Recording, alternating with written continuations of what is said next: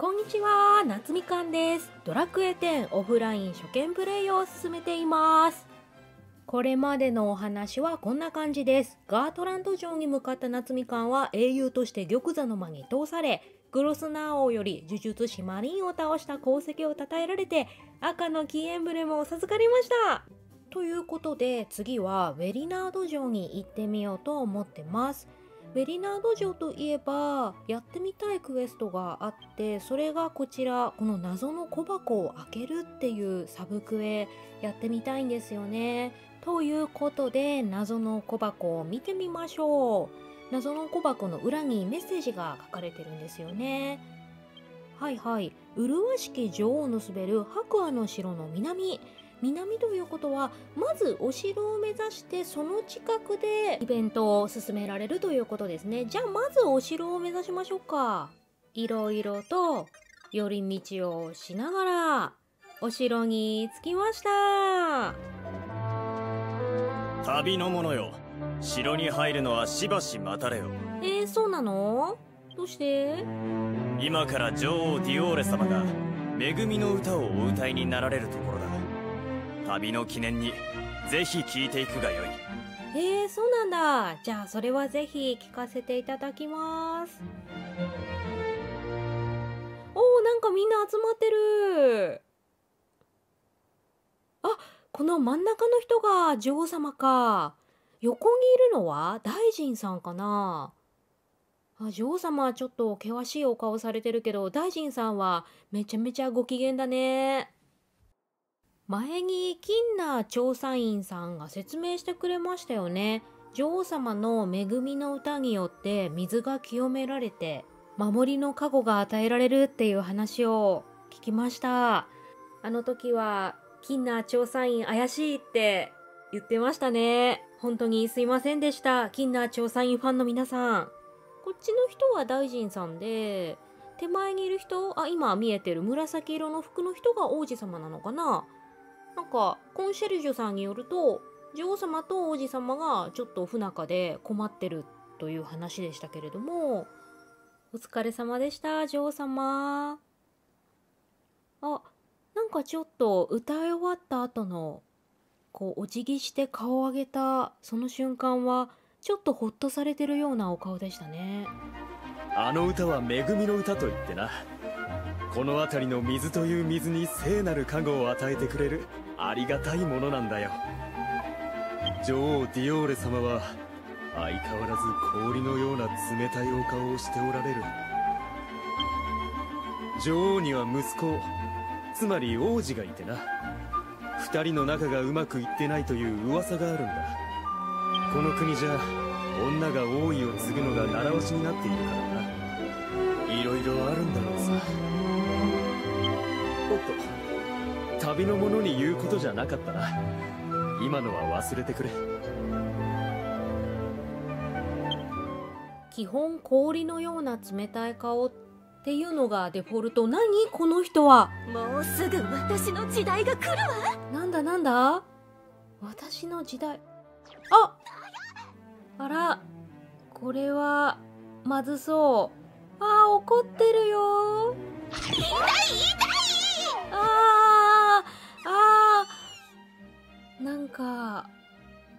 ポンコツキャラ登場しましたね。なんかダストンさんが喜びそうな感じのキャラクターだったけど。あれ？お城に急に入ってる。あさっき入ろうとしたからですね。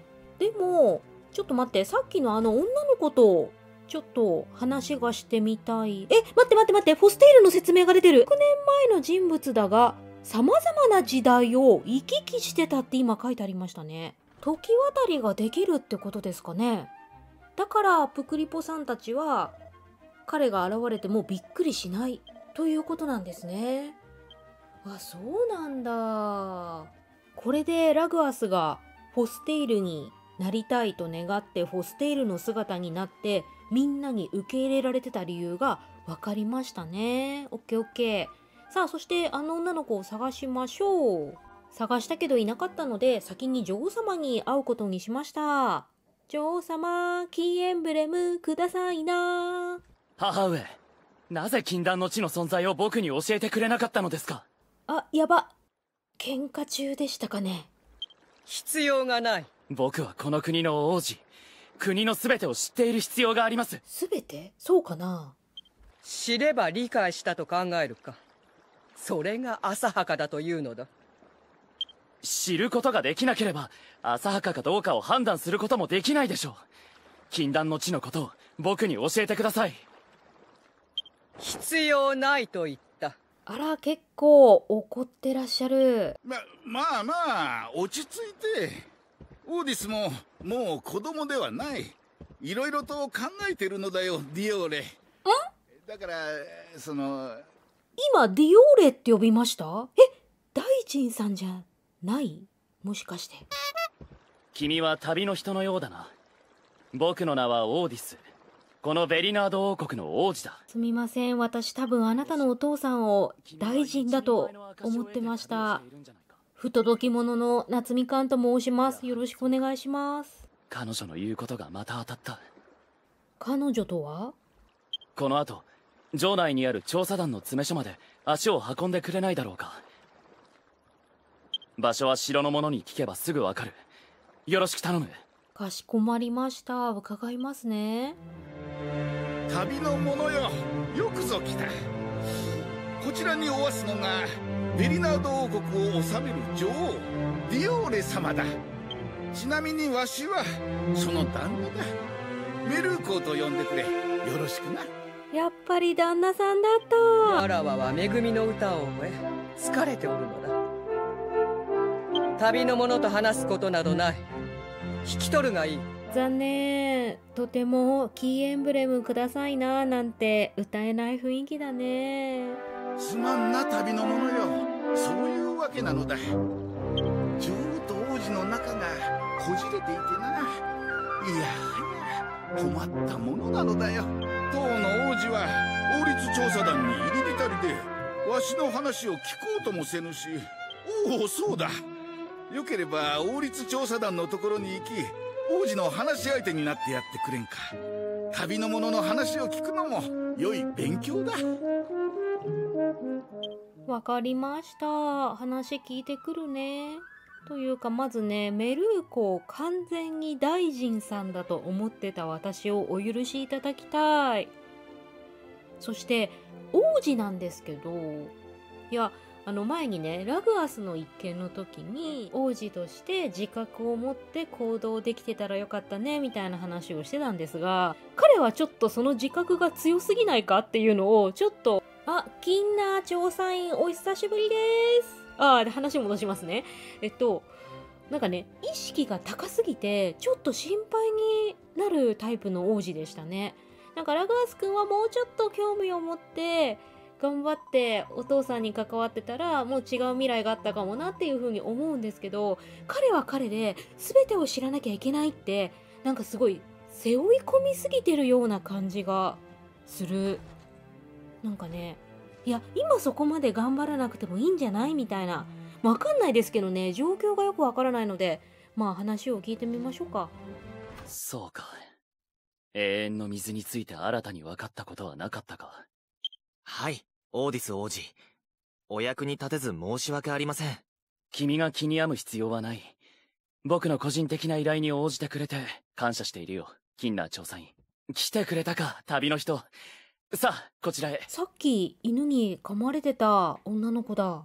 うんうんなるほどはい、夏みかんです。よろしくお願いします。ツスクルの村の出身なんだな残念ながら僕は行ったことがないが良いところだと聞いているいややあなたはもしやあの時の、そうです。あ、さっきあったじゃないですか、キンナー調査員。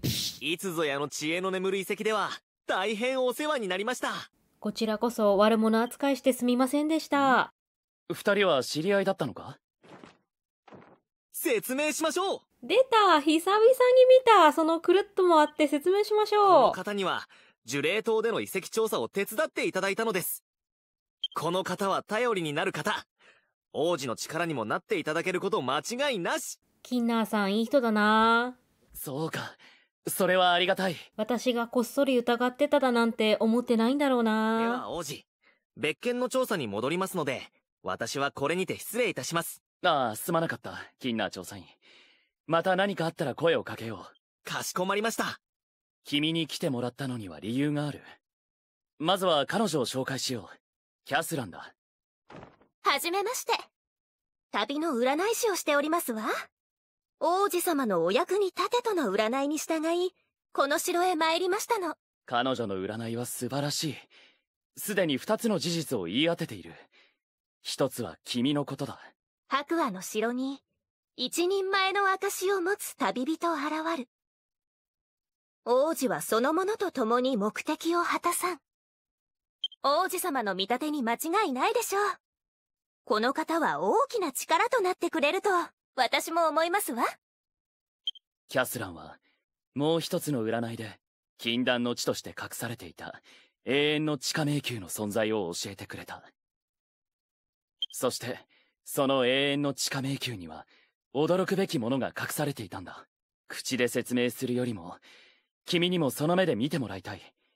永遠の地下迷宮まで来てくれないか。永遠の地下迷宮は、このベリナード城を北に行った場所にあるんだ。詳しいことは調査員に聞くといい。それでは、僕はキャスランと共に先に永遠の地下迷宮へと向かっている。必ず来てくれ。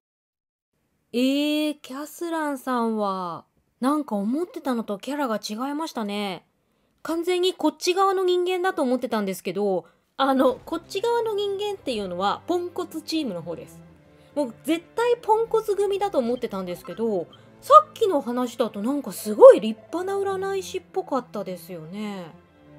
でも、初登場の時になんか私の時代が来るみたいなこと言ってましたよね。あの印象と今王子のそばにいる時の印象が違いすぎるんですよ。あいつが俺たちの国の王子か。王子だからと威張り散らさないところは好感が持てるが、なんか頼りない気もするな。ああ、なんかわかる気がする。なんか不安感があるよね。さっきの占い師は犬に追われていた見込みのありそうなお嬢さんじゃないですか。わしの見込み違いだったね。わかるわかるよ、ダストンさんちょっと握手しよう。わかるわかる。めっちゃわかる。そうだよね。いや、なんかね、猫かぶってる感じじゃないかな。どう思うダストンさん？いやもうね、ダストンさんと彼女はポンコツチームなんじゃないかっていうことについて語り合いたい。私たちが来ることを予言するなんて、すごい占い師様だね。あの人もどこかから声を聞いたのかな？そうだといいんだけどね。なんか、なんかね、違う気がする。驚くべきものって何かしら？わざわざ迷宮に隠したのよね。他人事とは思えません。王子の力になってあげたいです。うん、なんか、ごめんなさい。3人があまりに真面目すぎて、チームポンコツについて語りたいとか言ってた自分がすっごい恥ずかしくなってきました。ごめんなさい。夏みかんチューブでは今後もドラクエ10オフラインの動画を作っていきますのでもしよかったらチャンネル登録や高評価コメントで応援をよろしくお願いしますそれではまたお会いしましょうさようなら